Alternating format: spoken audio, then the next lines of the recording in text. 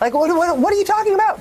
Um, so there's a there's a, a, a a it's not even stylistic. There's a there's a general incoherence, um, Uncle Uncle Ramble Standers mm-hmm. um, thing going on with him that doesn't get a lot of attention because the mainstream press, particularly the print press, has much more enjoyed talking about Joe Biden uh, and the signs of his age. But Trump is rambling and incoherent even when he is at his best, and even when it's early in the evening.